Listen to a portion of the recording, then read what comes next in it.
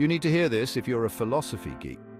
We're diving into why pragmatism is the Vulcan logic of America.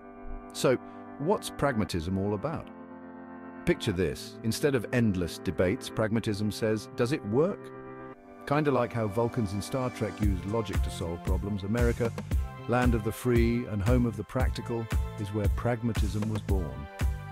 Philosophers like William James and John Dewey were all about action and results.